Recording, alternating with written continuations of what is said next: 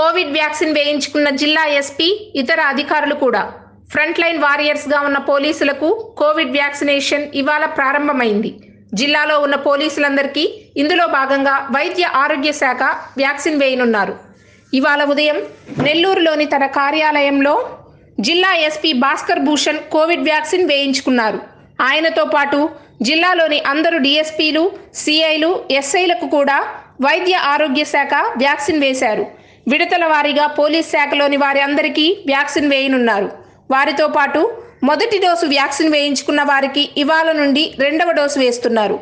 ఇందులో భాగంగా జిల్లా ఉన్నతాధికారులకు కూడా రెండవ డోసు వ్యాక్సిన్ వేస్తున్నారు.